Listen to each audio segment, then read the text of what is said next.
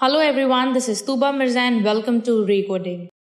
All the code used inside this video are mentioned inside the description box. So if you like the work we are doing and if you're learning something from our videos, please do subscribe to our channel and share it with your group because your subscription will make this type of video happen in the future. So without any further ado, let's get started. In this video, we will be going to learn how to make an ordered list using SwiftUI in which the user can reorder the item according to their need. Our final app looks something like this. First, we'll create a list of data by tapping on plus icon on top right corner. Then we add some data to the list. Then we tap on the edit button on the right side of the app. It will open the sorting button. Now we drag and drop the item according to your need.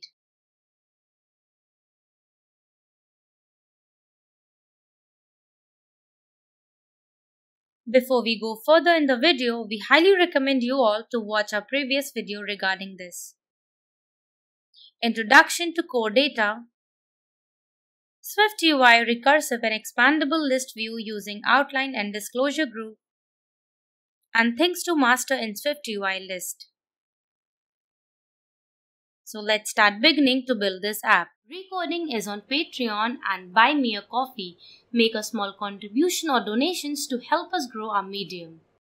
We still offer free content on YouTube and other writing platforms.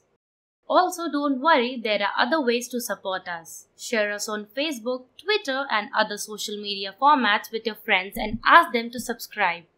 The links are inside the description box. First, we create a multi-platform app with a core data stack initialized by tapping the core data checkbox. Now create the project. First, we are going to remove some pre-filled code created by Xcode.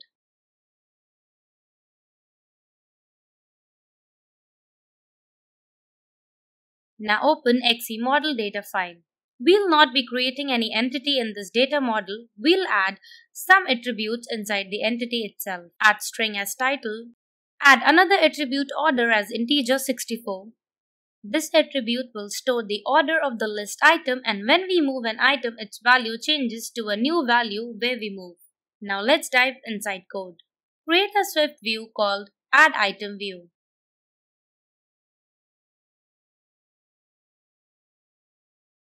Inside it requires the managed object context as view context. Then copy it and paste below and change the name as dismiss. This will help to dismiss the view. Then create a state as item title as empty string. Inside the body, create a navigation view. Then inside it, add form view. Then create a text field and bind the item title state inside it. Then below it, create a button that will help to dismiss the view. Add some modifier to button to expand its view. Inside action, add dismiss as a function. Create a fetch request inside sort descriptors. Add an empty string. Then add a private variable as items, which will confirm to fetched results and add item entity inside it. This fetch result helps to get the value of order attributes which we created inside the item entity. This will help us to manage the sorting of data. Then create a private function to add item inside the item entity. Create a let of new item which equals to item entity then add context as view context inside it. Then add title as item title state which we have created. Then add order as. Get the last element inside the item array which we get from fetch request and inside it we get order attribute. Either we get this value or if not, we set the value as 0 and add 1 in this value to increment the order attributes so that we get always a larger number from the previous count value. Then set the timestamp attribute as a data object. Then we finally save the data. Add the save function inside the button. Inside the content view file, we create a new state as add view which equals false. Inside the toolbar, add a button at the Add Item View value as toggle. Now create a sheet modifier below the navigation view. And add the sheet view. Then inside for each loop, we are going to show the text view with the title of the item. Add the navigation title modifier also.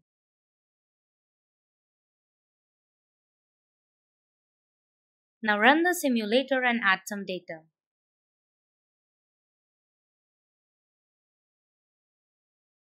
Now change the content view a little bit, add the order value also as a text inside it. To do so, add HStack inside for each loop, then add the text view of title inside it. And also add another text view to show the order number.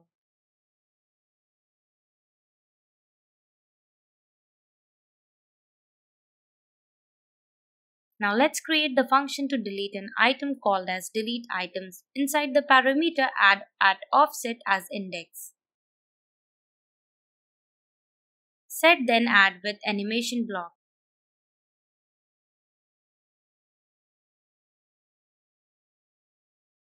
Then for each item inside the offset, we map the array of an item and add for each item view context.delete function.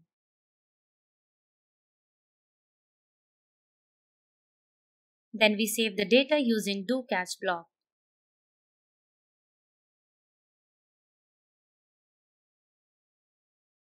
Then on delete modifier below the for each view and add the delete function.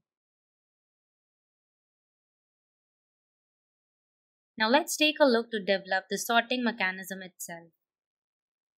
Before we go for writing the code, first take a look at how sorting works behind the scene. There are two ways we reorder, either we move the item up or down. There are two logic we need to provide first for the upward movement and another one for the downward movement. Let's see the example graphically. In this example, we have 8 items.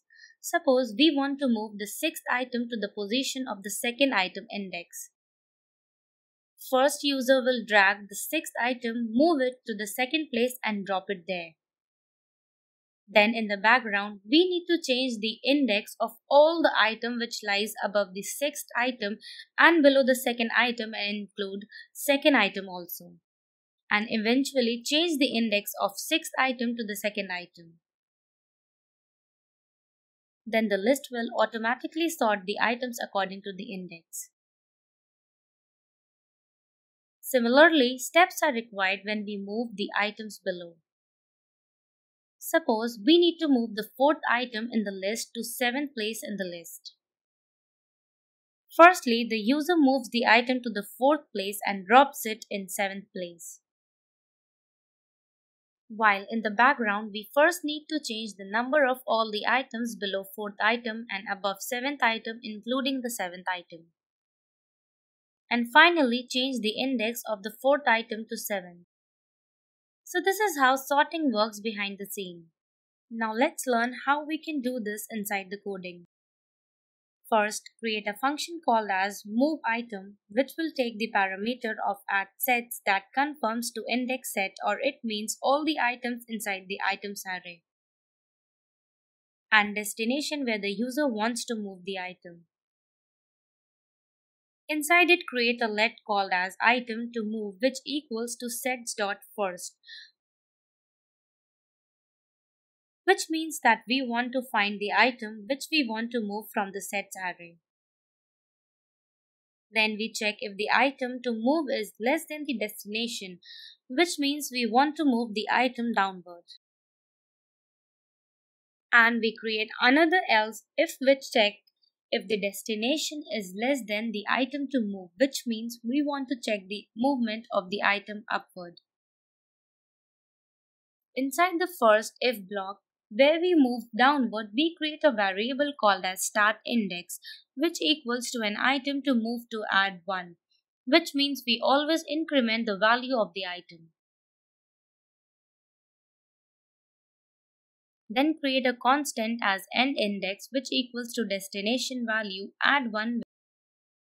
Create another variable as start order which equals to items array and add an item to move index and find its order attributes.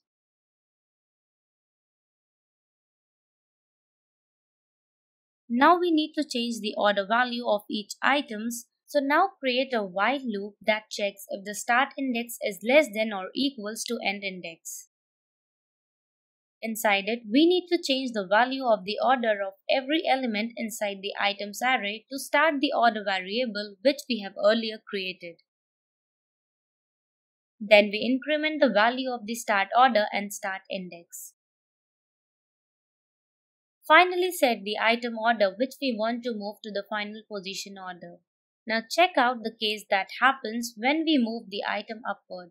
Inside else if section, similarly we create a start index which equals to destination. Then create an end index which equals to the item to move minus 1.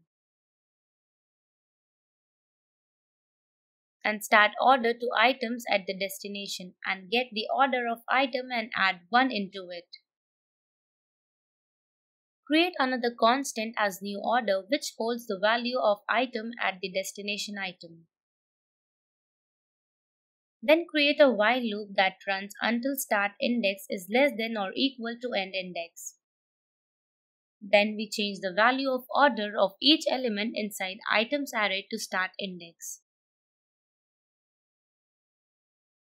Then increment the value of start order and start index. and finally change the value of the item which user moves to a new order value.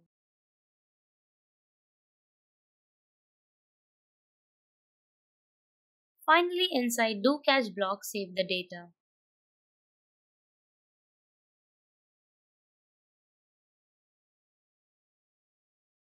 Now add the onMove modifier below for each inside body tag and add the move item function. Now inside the fetch request, we set the NSSort descriptor to sort item according to the value of order.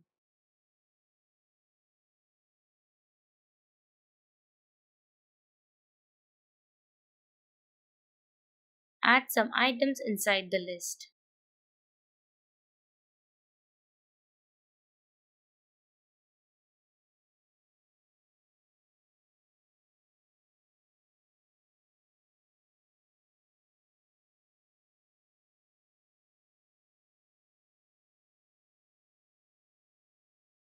Here we made a mistake.